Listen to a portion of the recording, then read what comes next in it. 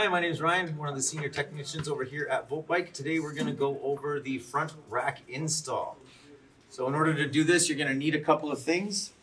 You're going to need a 5 millimeter Allen key, a Phillips head screwdriver, both a 10 millimeter and an 8 millimeter nut. You can see that I've got that on a tri tool here. A set of side cutters, a few small zip ties, and a few large zip ties. And then of course, your trusty front rack. Most of the racks will be coming with an extra bolt, washer, and nut to help relocate the light to the front there. Uh, if for some reason you did not get that, that's a pretty readily available uh, bolt at your local bike shop. It's an M6. Okay, so first things first, we're going to proceed by disassembling the existing uh, cable routing situation here by clipping these zip ties. So one, two, Again, be very cautious here not to cut the actual wires. You only want to cut the zip ties, of course. And there's usually a little small one here on the headlight bracket as well. So now that we've got those free, I like to sort of stage the front end by just moving these out of the way so we can access these bolts. Those will stay there in place, usually pretty good. Take our 5 millimeter Allen key and take out all four of these bolts. So usually when I'm pulling off the hardware, I like to keep the washers on there and I will stage them on my work area, with the bolt side down so I can keep all the washers and everything intact. Just makes reassembly that much faster and keeps your workstation that much more organized. So again, just make sure the two washers are on the bolts, them upright.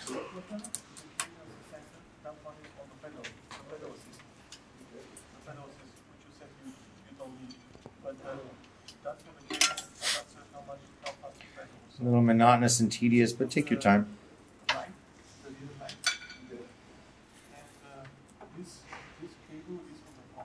There it is there. So now that we've got all of those bolts out, I'm going to take my rack, take one bolt, first feed it through the rack, just like that. Makes it a little easier to find the bolt hole on the other side. Just line that bad boy up, get it in there. Of course, you're going to want to make sure you're not cross-threading, and that means making sure the bolt is in there nice and straight. If it fights you, you're not doing it correctly. Back it out and try again. Just like that. Don't tighten it down all the way yet because you can see there's a little bit of adjustability there. So then what I'll do is I'll usually go to the opposing corner on the front there. So I'll line up the holes Get the bolt in on the opposing corner. Line things up a little bit more there. And again, don't tighten it down until all of the bolts are in. We're going to mess with the alignment a bit, make sure it's nice and straight. far as, far as this, this thing goes, though, the box all the way the, you hook up that one too, and it's gonna work out the two, right? So this is, I wanna hook up the power, to the power. Do I have one hand? Okay, right there, okay, right there. Just like that. Get them fairly close to where you want to be. Then I'll look at the front of the bike and I will use the top part of this rack as a reference with the top part of this blue line just to make sure it's nice and straight and level. I'll hold it in place and then I'll tighten those bolts down.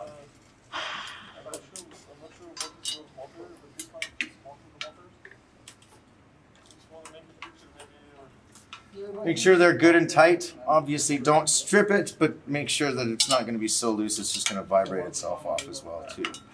Always double check your bolts once you've got them in there. Make sure they're all tight. You didn't forget one. Okay. So there's the basics of the rack being installed.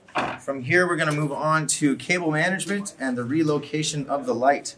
Uh, so first things first, we're going to remove the light from the fender bracket here. Uh, takes a 5 millimeter Allen key in the bolt, or in the front, and a 10, 10 mil wrench in the back, or you can see I'm using a sort of a socket device here. So I'm to hold the back nylock nut, and then I'm to use the Allen key to spin off that fastener.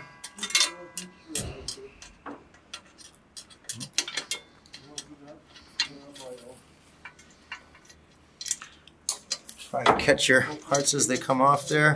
And you can basically just hold this washer and nut in your hand.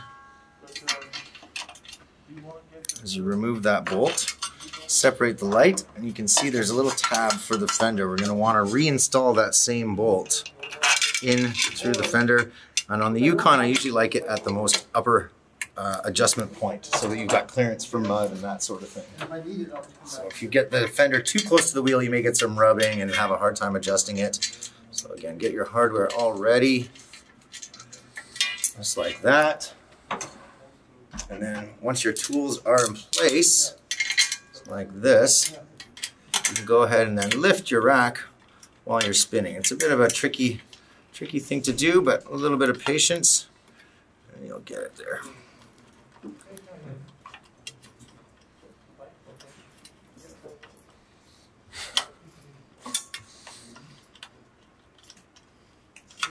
And again, make sure that's good and tight, as well as straight as well too. So you've got a little bit of side to side articulation you can do with the fender. You want it nice and straight up and down on the wheel there. See? So nice, nice and in line. The same distance here and the same distance here, and you should be good to go. Next step, we're actually going to remove the light from the light bracket. So there's your eight millimeter nut on one side and your Phillips on the other. So you're gonna take again, I have a, an 8, 9, 10 on this one, so I'm going to switch from the 10 to an 8 millimeter on one side. And then use my Phillips on the other side to spin off that bolt.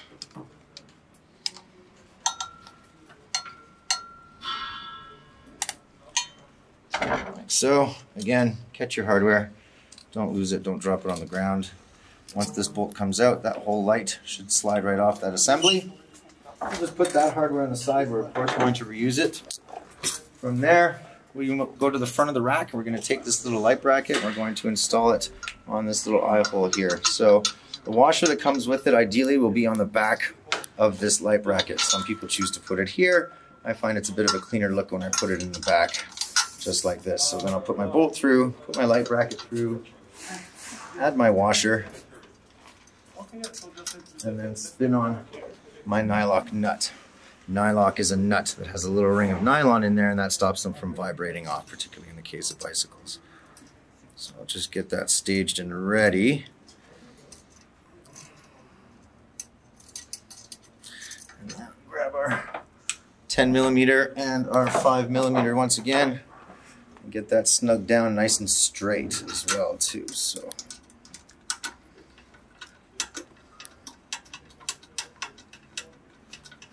So just before it's in its tightened position, I'll just give it a visual up and down. Make sure it's not to the side or any of that kind of stuff. You want it nice and straight up and down. And then torque it down, like so. Next, you can see that the cord on the headlight is a little bit short. It's not going to necessarily reach there. Well, we've thought of that. There's provisions already built into the frame for the extension of the light. You're basically going to give a firm but gentle tug on the wire and pull it out of the frame right there, just like that. So we can go more, we can go less, we can always put it back in as well too, but for now, just get enough so that you can get the light back on the bracket. I like to feed the wire inside the metal frame here. You can also disconnect it to do so. It just depends on your sort of, but I usually just keep it connected, go in just like that, and reinsert your eight millimeter nut and Phillips bolt that you took out originally. Now you're also noticing the reason we took the light off is because the, the light is now upside down compared to where it normally was. Well, that just makes a nice little fitment in with the rack there. So Phillips on one side, eight millimeter on the other. Get that nice and tight down. Don't go too, too tight, just enough to stop it from moving up and down on its own, but you also don't want to crush the little plastic bracket on the inside. So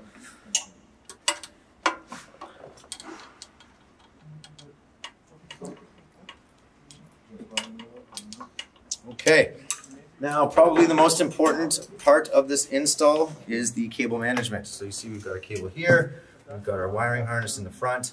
Uh, we want to arrange this so that there's no catching in the steering motion, uh, so that if something, you know, with some poles actually gets used on the rack, it's not going to take up the, the light cable. Uh, so my preferred method of install is coming up to this secondary bar running it along the bottom, along the bottom, and then right to the front like this. So you can see I will need more cable to do this. So again, I'll gently but firmly tug from the frame to get some more wire out of the housing. And then I'll use my handy dandy little back zip ties to strap it up and out of the way. First one I like to do is to the actual light bracket itself. Right here, that'll keep it from catching on things. Zip ties are a handy way keep your cables neat and actually save you from some damage in the future as well too. So I'll put all my tails at once once we're finished. So then I'll put another one over here.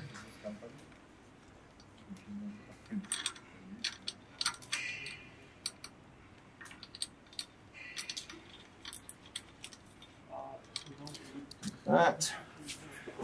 I'll curve it up to here, maybe put another one here. I use usually about five in total for the entire process on the rack and then I put another two on the handlebar harness once we're done. So again, I like to keep my workspace nice and tidy, keep all the tails facing the right direction, try and keep that all looking nice aesthetically. You can see we still need just a little bit more cable, so again, firm but gentle tug. You can see just like that. Take your time with it, less is more. So now again, once I've got that into sort of what I want, you can see it's still pulling a little bit in the opposite lock direction on the right. So I'm gonna go ahead and pull just a little bit more cable out there. There we go, just like that. We can always put it back in, so don't worry about taking out too much. As long as you don't rip it, you're good to go. So now I'll come up to here. You should put one right here as well.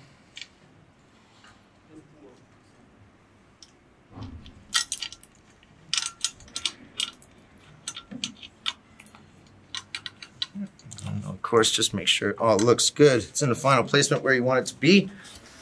And then you can see underneath, I've got a little bit of excess here, but it's actually fairly adequate. It's not catching on anything.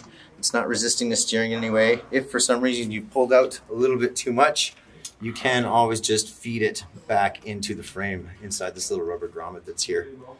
Okay, and then following that, I'm gonna grab our existing wiring harness that's at the top. I'm gonna pull it back towards the front. I'm gonna pull it not too, too tight, but nice and taut. And we're gonna place one zip tie here and one zip tie here, and that will stop this wiring harness from interfering with the crowns on the rotation of the steer tube. And so for that, I'll use the bigger zip tie. I'll start at the bottom. And usually I like the first zip tie just below this sort of little coupler switch here. Nice and tight. Again, keep your tails in the same direction for aesthetically pleasing results. One more at the top.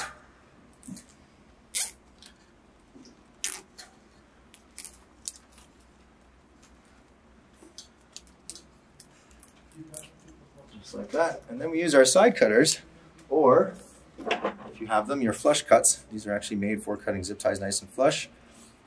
Use these and cut all of your tails off.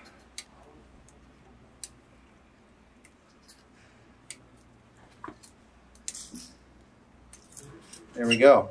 So a good little test. Once it's complete, it's just steer your bike opposite directions in both. Make sure the cables are not binding anywhere. Make sure it's not stopping the actual motion of the steering. Take a look down. Make sure you don't see any of the cables going down this way, and that should keep them nice and protected from the metal itself. Last but not least, power on your bike and make sure the lights work. So you'll do that by obviously pushing and holding the plus. And there we have it. That's your front rack install. Once again, my name is Ryan. Thanks for watching.